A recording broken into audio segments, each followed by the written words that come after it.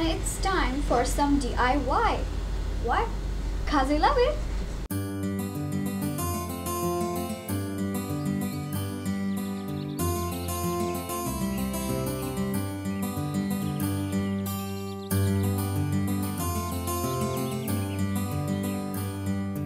Shaka guys, you know I love nature. And since summer is here, we are going to make something cool for our feathered friends. I'm going to show you how to make a bird feeder. I love to draw from nature. So whenever I go out for a walk, I carry my sketchbook around so that I can find something interesting to draw.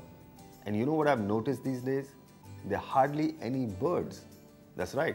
There are more buildings, there are more cars, there's more smoke and lesser trees and thus lesser food and shelter for our friends, the birds. So you know what I think? I think you and I should get together and do something about it. We will make a bird feeder and to make one, you'll need this.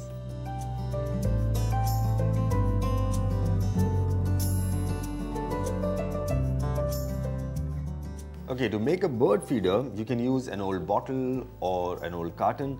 I'm going to use this milk carton because it is a good shape and it's pretty strong. So what we'll do is, first we'll make a window through which the birds can go in and have their food or water, whatever you want to keep. I have drawn this shape with a little arch on top. So we'll keep this and using this as a template, we'll mark our window. So there you go. I have my shape ready and I'm going to do the same thing on the other side. There you go. And by using a template, you'll get the exact same shape on both sides.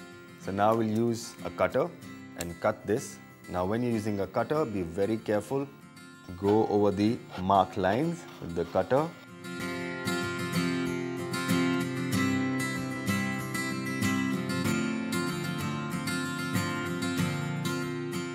And there we go. As you can see, our window is now ready. So using a template, we have got the same design on both the sides. Now what we need to do is, we'll open the ends like this and using a scissor, we'll cut them just like that.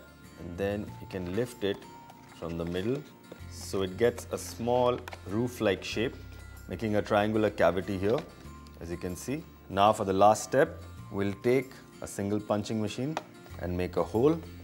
There you go, we have a hole. Before we start painting it, we'll use the same punching machine and make two more holes on the top. Okay, so we've made two holes here and here we can attach a string to hang our bird feeder when it's ready. Okay, so the structure is ready. Now we can start painting it to make it look more colorful and more impressive.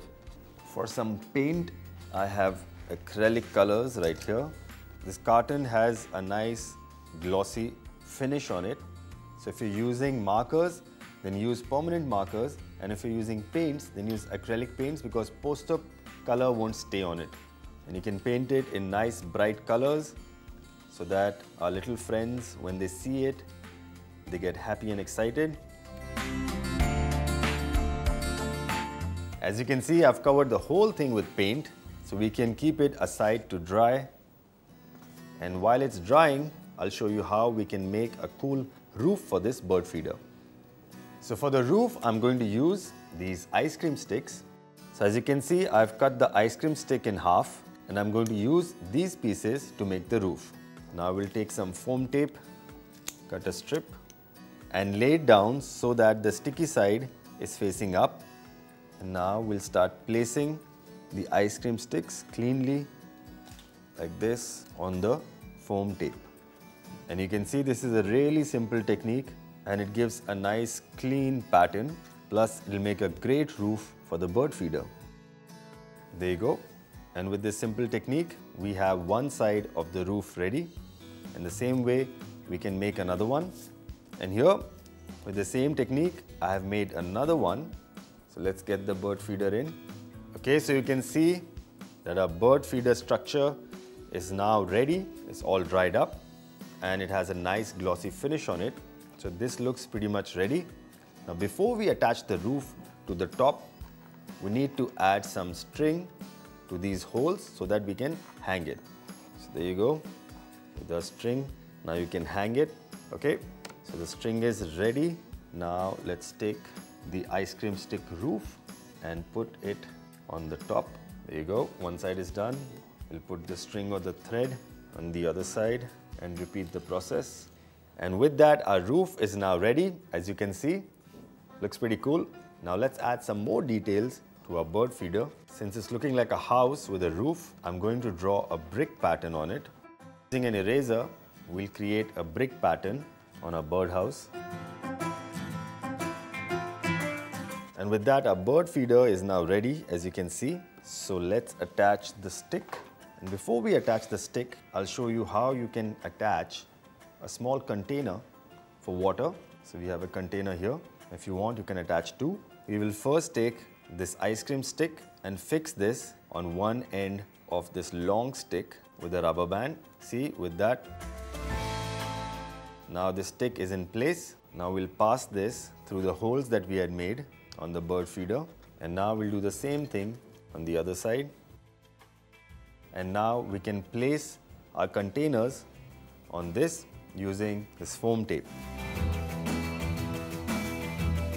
Now I'm using this small container, but you can use a bottle cap or any plastic bowl like this, which is light and can hold water. And with that, our bird feeder is now ready. Now let's add some seeds and food for our friends. There we have some seeds. And also if you want to put some water. And there you go. A bird feeder is now ready.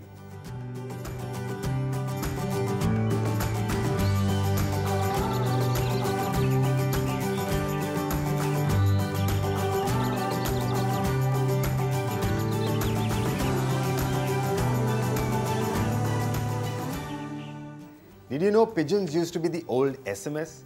They used to carry messages tied to their feet across long distances. Can you believe that?